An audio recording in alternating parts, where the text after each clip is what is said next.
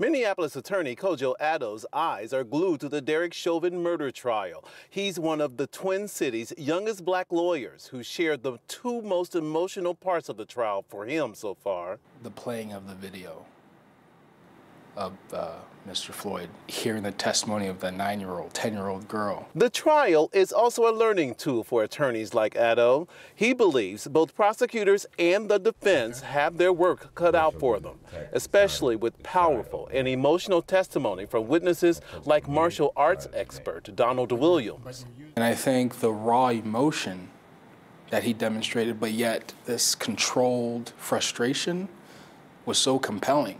Kojo Addo is the only African American attorney at Schwebel, Goetz, and Sieben. He started as a law clerk in 2015 and eventually joined the firm two years later. I look forward to going to work on Monday morning um, because I know I'm going to have a direct impact on someone's life in a positive way.